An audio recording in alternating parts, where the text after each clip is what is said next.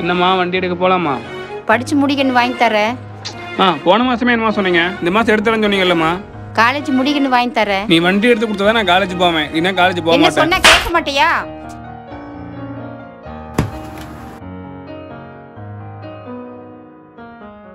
டேய் என்னடா ஆச்சு?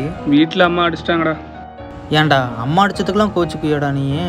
என்ன மாதிரி அம்மா இல்லாதவங்களுக்கு தான்டா அந்த ஃபீலிங்ஸ் என்னன்னு தெரியும். என்னாச்சு? வண்டி கேட்டேன் அடிச்சிட்டாங்கடா.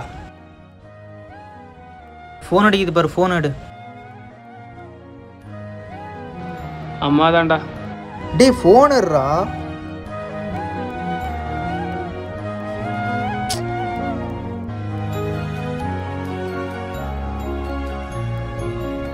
ஹலோ ஹலோ ஆமாம் சொல்லுங்கம்மா. கண்ணு சிவா அங்கேயே இருக்கிறா? ஆ சிவா இங்கே தான் இருக்கான். பையன் சாப்பிடாதே போயிட்டாங்கண்ணே அப்படியாங்கம்மா. கொஞ்சம் அங்க இருந்தா அனுப்பிச்சு விடுங்கண்ணே. சரிங்கம்மா.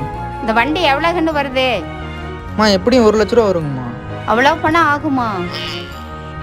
அவ்வளோ பணத்துக்கு என்ன பண்றதுன்னு தெரியலையே. கண்ணு நீங்களும் சிவாவை வீட்டுக்கு வாங்க பேசிக்கலாம். சரி நாங்கள் ரெண்டு பேரும் வந்துடுறோங்கம்மா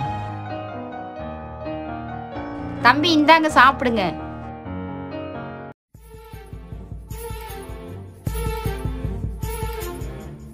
ரெண்டு மாசம் பொறுகண்ணு பார்த்து வண்டி எடுத்துக்கலாம்.